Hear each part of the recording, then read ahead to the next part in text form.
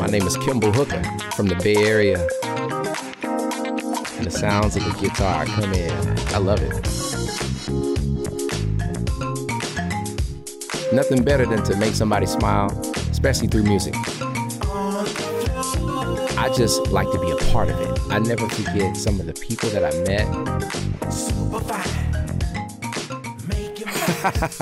met. Hello and welcome everybody. My name is Kimball Hooker and welcome to the Kimball Hooker Show. We have a very special guest today. I just want to introduce her.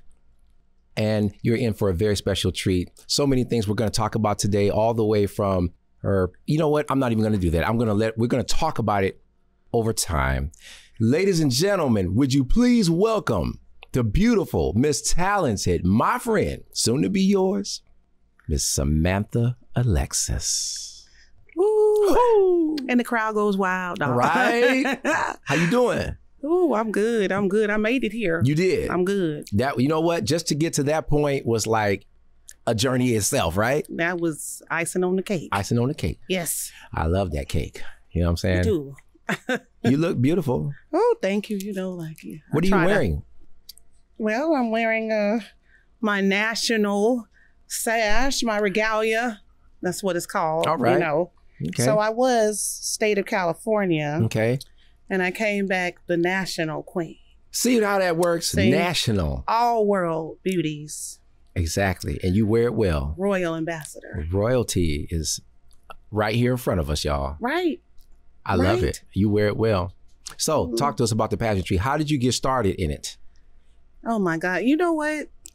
It's something that I actually hid from everybody. Wait a minute. How you gonna hide something that's like in everybody's face? You're so flamboyant with it. No, I, I, wasn't always flamboyant. Talk to us. I used to be a little tomboy. See, I don't believe it. Really? No, no, I was a tomboy. How you do that with all that beauty? That's what I'm talking about. You know, well, the beauty. You can't hide that. Well, you know, it's like when you are in the neighborhood around people who are down and you tell them something that you want to do a like a pageant, they look at you like, mm, no, you can't do that. They don't see it. No. Well, for the longest time, I was told that you can't do it because you're black. Oh, okay. So All right. that was a big issue back then. Right. Because right. I came on the scene of pageantry when I was like 12 years old. Okay. Okay. So race so, was prominent at that point. Race was real prominent. And okay it was prominent, but mm-hmm. what was what made it so bad is when you have your own peers right who are telling you you can't. Right. What are you thinking? Right. And you're, you're so young too. Right. You're foolish yeah. for thinking these things. And you got a tender mind when they should be encouraging you. And that's what you're ha- having right, right there. Yeah. Right. So talk to us a little bit about that in terms of you know just dealing with you're so young right you're tender minded right because you're 12 right right and so back in those days who is your protector your mom my mom has always guided me in saying that you know what don't use the word can't. You can do anything right. that you set your mind to do. Right. You know always have goals always turn those goals into a plan. So that's the type of mind i've had right.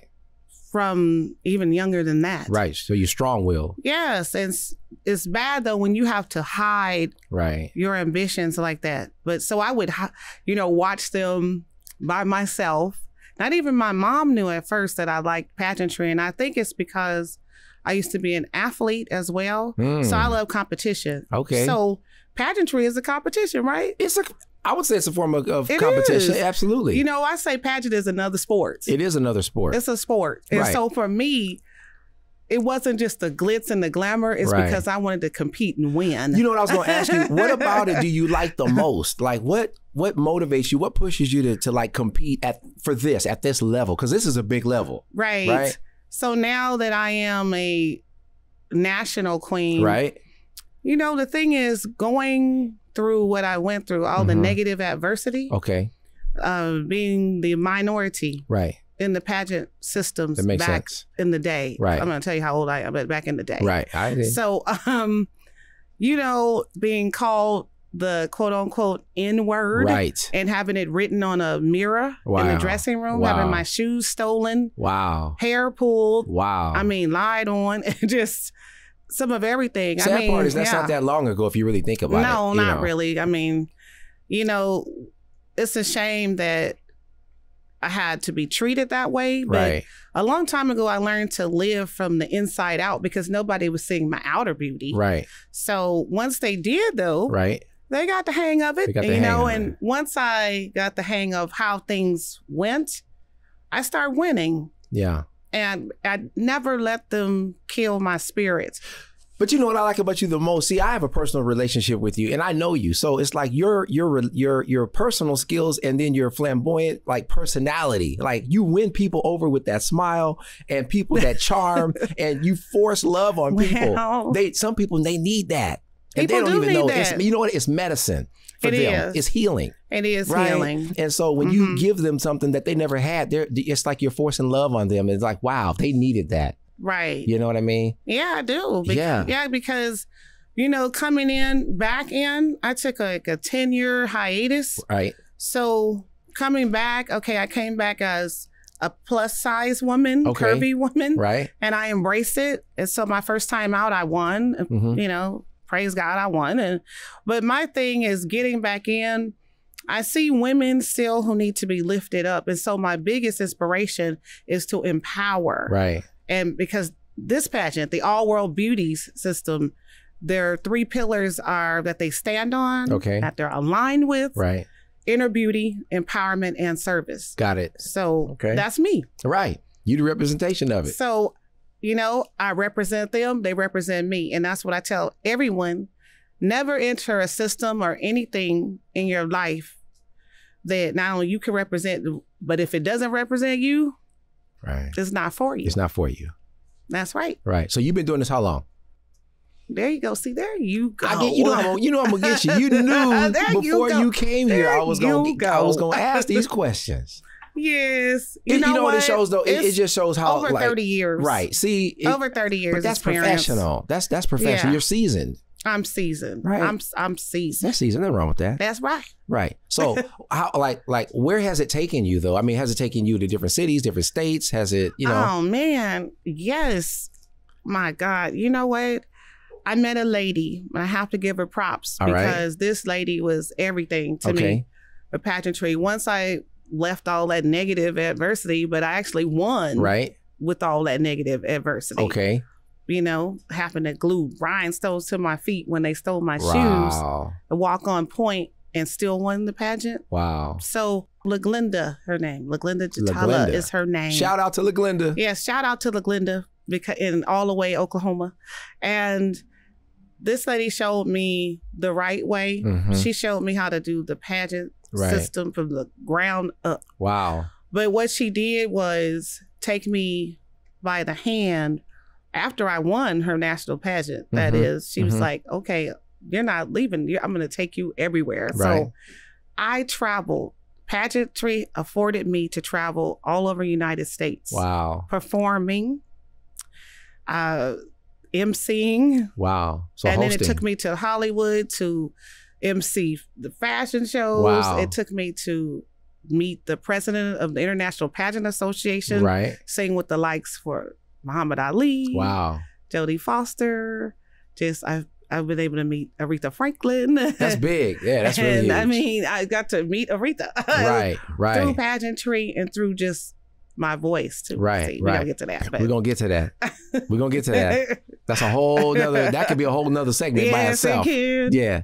So Mhm. I mean, but what? Tell us what goes all into preparation for a pageant. That for all those that don't know, like it, people just see you right, and they go, "Oh wow, she's pretty. I like her Mm. dress. That's nice. That's I love her hair, right?" And they don't know the work, the effort that goes No. into actually putting it all together. Please break it down for us. Woo.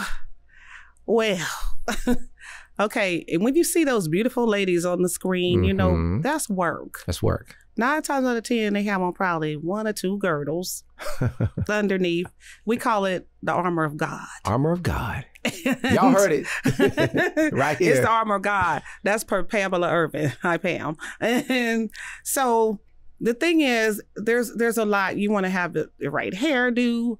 You want your your clothing. Do you work with a stylist or do you have something you do yourself? You know what?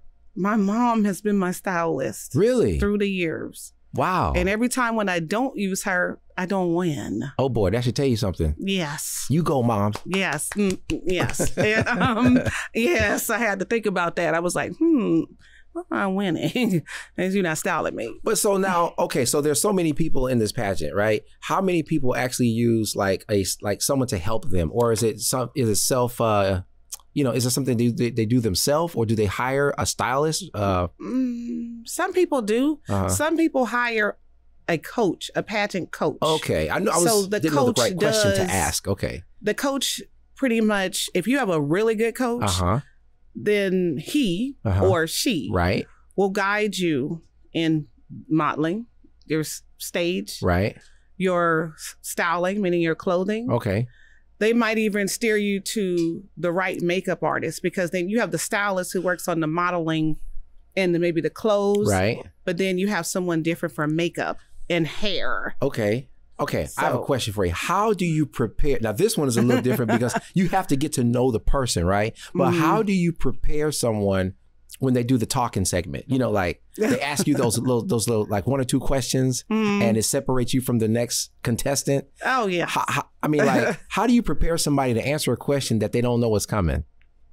Well, the thing is, in this organization, Mhm. I can honestly say that all the questions are character based Oh, okay, because they want to know who's going to wear the crown, right, who is going to represent their brand the best. So you can't choose a person to represent your brand by asking them who the 10th president. How Okay. would you know about that person? They're character based. there's no character in that. No. Right. I mean, anybody can study from a book and then they say, okay, this Right. is who it is, or Google it on the side. So you know? these are questions designed to get to know the, indi- The individual. individual, Okay, yes. all right. You So you can't really know. prepare that. You can't really prepare for that. you sh- you know what? There's you you shouldn't have to. Okay, it should just be authentic. Authentic. Okay, should be you, Transparency. transparent. That's right. All right, I, I can see that. I can see that because you can't really generate or like make up a queen. No. A queen just is. pretty much. Okay, I mean, there's other things like, you know, modeling. There's some people who haven't modeled a day in their life. right. So they need coaching, but that can be fixed. Okay, Someone from the inside to represent your brand. right. You need to see who they are. Like for me, now I'm the executive director of California All World Beauties and Man of Distinction. All so right. I want to know who is wearing my crown, you know, or the men, the stole, Your brand. my brand. Right. I want to know who's going to represent it well. You know, if you have somebody that just speaks in broken English or Mhm. can't get a a word out when the question is about them, Right. then you know That makes sense. That makes sense. that's they're, they're not ready. Okay, so let's switching gears here a little bit. When it goes into like the different categories that would make up um, the all world beauty, right? So there's different like s- with, with a talent. So what are some of the talents that they look for? Okay, so in the All World Beauties uh, Man of Distinction system, talent is not a part of the overall score that you need for the crown. Okay. It is in the optional competitions, Optional. which all the contestants have a various amount of optional competitions, Okay. which their choice, they can decide to do them or, mm. or not. A lot of people do take part in it because people have talent Right. you know, and so they want to show it. And Right. it's a good way to break the ice, Right. especially if you have never done a pageant. Get up there on that stage and get the feel for it. Right. I always recommend at least do one optional. Okay. At least one. So for the ladies, okay, is what what okay is is comedy one? Oh, I did stand up comedy in Vegas. Okay, you did comedy. I sure I did. Okay. I had to do three talents. okay, what were and the one three? could I did well, uh, I had to do I did a jazz song. yeah. I did a uh R&B Okay, song. so you sang. It had to be if you sang two songs, it had to be different genres of music. Okay. Third talent could not be singing. Okay, so you did. Stand up comedy. Wow. Okay. I know you now. And it was very yeah. So I know you you can be funny. I know you can because you got a Mhm. good wit to you. yes. See? All right. And it was all about pageantry. okay, so can I do one thing? I want I want to ask one thing. Can you just sing me and I'm putting you on the spot because we you ain't talking are about that. Yes. I have to. You know I'm gonna do You that. put me on the spot. If it's just I have listen, you can sing Mary Had a Little Lamb. I don't even care because I love your voice. oh, Pick any la- anything you want. I don't care where it's from. I don't care what it is. Just let the people give get a taste of Samantha Alexis, and we're gonna play your song later too. see, he's putting me on the spot. See, I I, don't even know why you trying to You know, because they need to know what on I the know. spot. What do they know? Hit it. Uh-uh. no, no, no, no, no. no, okay. Let's see here. Let me let me go back. Since the Aretha movie is out and Aretha has been reborn again, I guess it would be fitting to, you know, give a little something from the queen. All right, there you go. I From like a that. queen. From a queen. From a queen. From a queen to a queen. All right. Let's see. Hmm. Looking out on the morning rain, I used to feel so uninspired when I knew I had to face another day. Lord, it made me feel so tired. Before the day I met you, life was so unkind but you're the key to my peace of mind. You make me feel, you make me feel, you make me feel like a natural woman. Woo! and the crowd goes wild, baby. Yeah. That's what I'm talking about, y'all. You see what I'm saying? That listen, we are in a music studio, but Oh, we're yeah. not in a recording studio. No, we're not. So we're live. That was live. Anyway, that was beautiful. Oh, thank you. I think. I think. Um, I think that was just the queen coming think- out of me. I that was the queen. I think. Um, I think uh, she just got a little. Her toe just twinkled right now. Aretha's toe. Just, Oh, yeah, it, see. moved. It did. And mine did. If it hers didn't, mine Uh-uh. did. Toes twinkling, ladies and gentlemen. Well, what else can you ask for? So let's talk about this music for a little bit. All right. So obviously you just gave him a little taste. I want to know, like, how did that come about? How did you discover you had a voice like that? Oh man. Um wow. I was a little girl and my aunt had this album in this red cover and I was like, "What is that?" It was Lady Sings the Blues. Oh, The whole soundtrack from the movie with the songs. right. And as a little girl, I fell in love with that those records. It was a collection. Right. So before I even saw the movie, I had this whole album. I mean, I she gave it to me. She Mhm. wound up gifting it to me, hmm and I must have played and sang with that thing until the album was white. Wow. And it so you just fell in love with it. Big old album, you know, the albums back Right. then. So I fell in love with it, Wow. and believe it or not, that's pretty much when my love started. I mean, I sang with my great grandmother in Mm. the church, Okay. but my love came. It was something about that that record, In the beginning, that was it. the Billie Holiday. The, how old were you? About. Ooh, when I first, I think about seven. Oh, see, that's tender. Very tender about age. seven, I Yeah. fell in love with it. You know, Right. look, right. you made me want to sing it. so, so would you say you you you identify more like with the Mo, the Motown sound? I mean, you talking about the the the, Mir- the Supremes? Are you talking about Diana Uh, Ross? Are you talking like Mary Wilson? Are you talking like give me some? Who are you, who are your the people that you admire or people that you uh kind of you know look to? Well, you know, the thing is, with me in the beginning, I was exposed to all facets of music. Okay. I was in the opera program when I was like about eight or nine years old because my voice, they heard it. The San Francisco Opera, I was in school in San Francisco. So Mhm. they would come over to the school and just to, you know, sing and have a little Mhm. program for the kids, you know. And it was me and another little boy hmm named Gary. Shout out to Gary. Hi, Gary Little. And um, we both had these high voices, and they just took interest in us. Mhm. And we were the two that got chosen to do this program with the San Francisco Opera. Oh, nice. So okay. I was able to have the classical training in there. that helped. So it does. Yeah. It helps. And but from there, pretty much, I mean, my mom is a singer. Right. My grandfather sang with the Coasters. So basically, it runs in your family. It's yes, It's- and we, you know, everybody either is a musician. Mm-hmm. hmm And we have drummers, we Right. have keyboardists, we Right. have bass players. Right. Musicians. mm-hmm. So All and, and vocalists. My Right. like my grandfather sang with the Coasters. Right. And so and my mom used to sing with Martha Wash for a Wow. while. for a Everybody while. knows who Martha Wash is. Wow. And they went to school together and they Right. sang together. Mhm. So it was just we had music every single day. So it's in your background. yeah, every yeah. day we listened to music. Wow. So where has that taken you just musically? I mean, like, have you played in bands before? Have you done your own music? Have you, I mean, talk to us a little bit about that. Well, you know, I actually there was a few things I've done. Well, I I'm adventurous. So Right. I was in New York. We slept on the ground for three What? days Not for you. audition. Not you. I got in.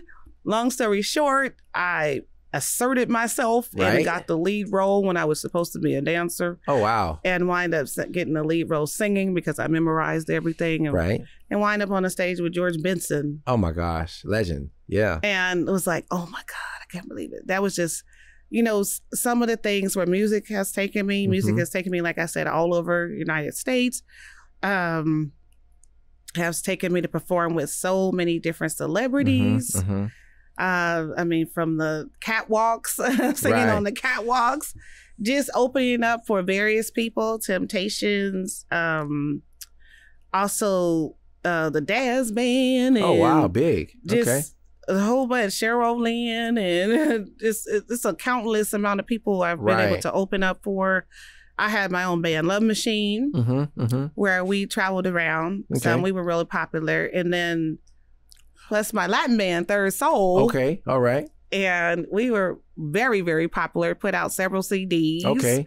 And um and I got known on the Latin side of Okay. things. I started singing in Spanish, Espanol. Espanol. so I became, you know, the everybody's uh hermana, Hermana. chocolate hermana, Right. Chocolate hermana. I became that that lady, Mamacita. but also the tributes as well. Um, singing at a young age too. With Mhm. the I didn't start out singing with just a you know a small band. Mm-hmm. I started out singing with a symphony, with a big Like an orchestra. orchestra? orchestra. Oh, okay. All right. The, they were so huge, Mhm. and I don't know. I think that's why I lost some of my hearing. That big old horn section The horn blew your ears out. I can see that. but it's been quite a experience Uh-huh. and music has afforded me just to Right. keep people lifted i think that's the biggest reason why i do it Okay. the reaction of the people The reaction of the people. You love bringing joy to the people. oh yeah and i have with my aretha franklin tribute my one woman show i love billie holiday so Mm-hmm. much that i had a one woman show that performed in marriott downtown oakland Mm-hmm. for and I did Billie Holiday, one woman show with Billie Wow. Holiday. I've done the, the Whitney Houston, Gladys Knight and the Pips tribute. Nice music has brought me to have a relationship with you. Right. right. All right. So it's it's it's a journey and we're still on it. Right. Exactly. Still on this journey. I'm excited to uh, hit. I, I have a song here from you. Um, it's called "Let's Pray." Where'd you get that? I, you know what? Everybody, it's the new buzz on the street. Everybody's it's the talking about this. on the street. I love it. It's a great song, but I want you to talk to us about the message behind this song. Oh man, you know what? We are here today, and so many people are trying to go back in time with all this racism. Right.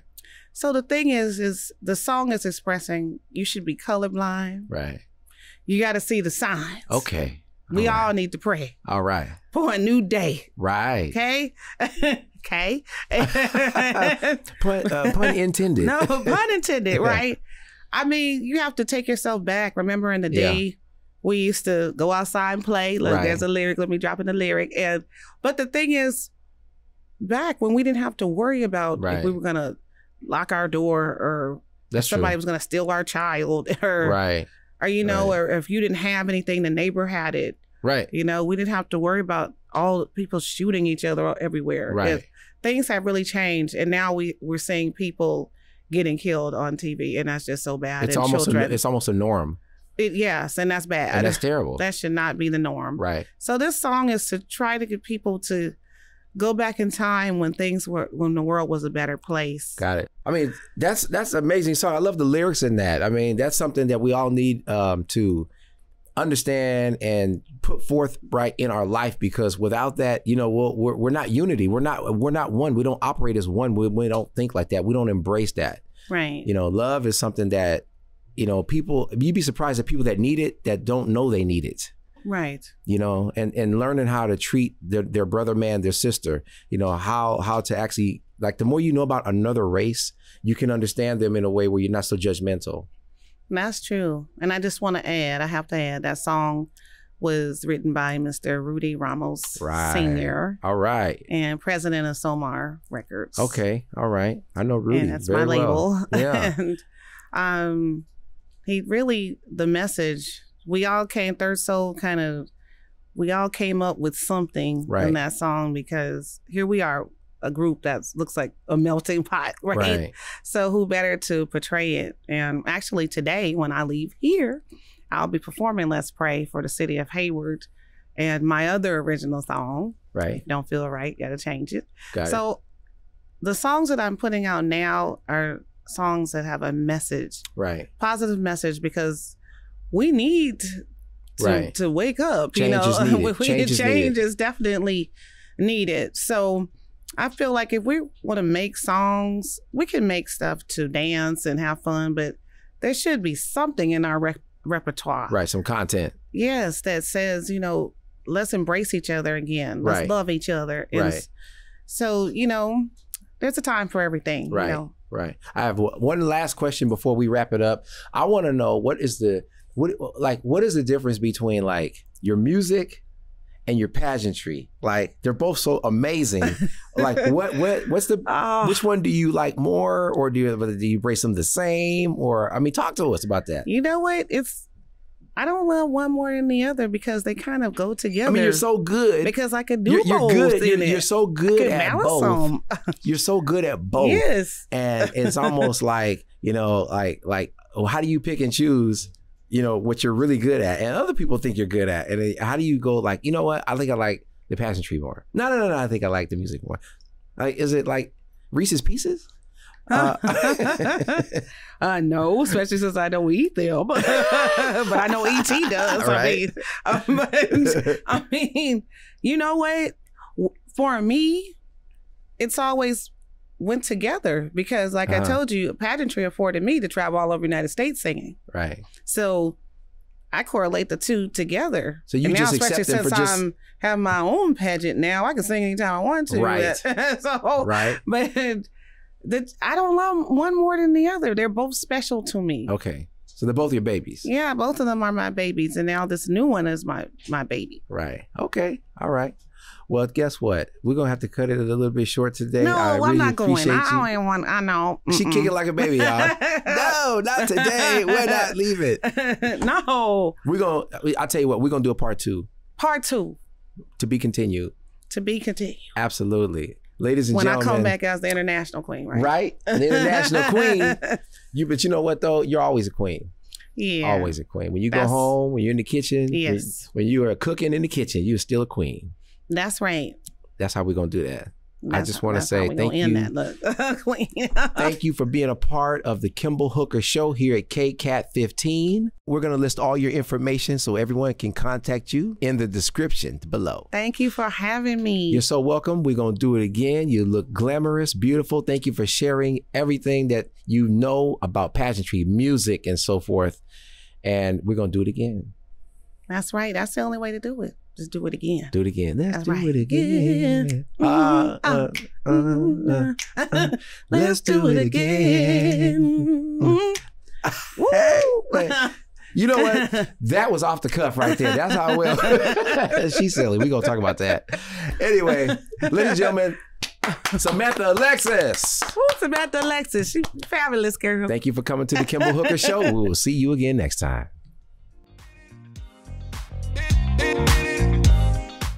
You just heard the Kimball Hooker Show here on KCAT Radio. Explore all our KCAT original programming at kcat.org/radio.